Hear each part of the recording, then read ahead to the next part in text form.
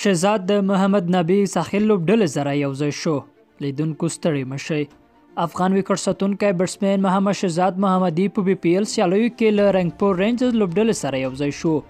شهزاد محمدي باندې د افغانستان کرکټ بورډ خوا د اصول او قانون څخه د سرغړونې لکه بل یو کلن بندیز لګیدلی چې راتلونکي اګست میاشت کې به پای ته رسیږي خو نوموړی کولای شي چې د خپل هیواد بهر خارجي لیګونو کې خپل لوبو ته دوام ورکړي شهزاد محمد د 2019 میلادي کال نړیوال جام سیالیو څخه د ټاپونو له کبله بهر شو خو نوموړي په کابل کې له رسنیو سره په خبرو کې ادعا وکړه چې نوموړی روغ رامټ و خو په قصدي توګه له سیالیو بهر کړل شو وروسته نوموړی د کرکټ بورډ له اجازې پرته پاکستان کې اکاډمیو کې تمرینات ترسره کړل او د کرکټ بورډ لخوا یو کلن بندیز سره مخ شو د رنګ فور رینجرز لوبډلې مرستیال روزونکی میزانور رحمان بابول وویل چې ویسټ انډیزي لوبغاړي شایهوب پر ځای شهزاد محمدي لوبډلې ته اخیستی دی د میزانور په وینا چې شایهوب ورته ویلي چې یوازې یوه اونۍ به د لوبډلې سره وي له همدې کبله یې افغان اوپنر لوبډله کې واخیست نوموړی بریدګر لوبغاړی دی او په لنډه وریځو سیالیو کې ډیره ښه لوبه کوي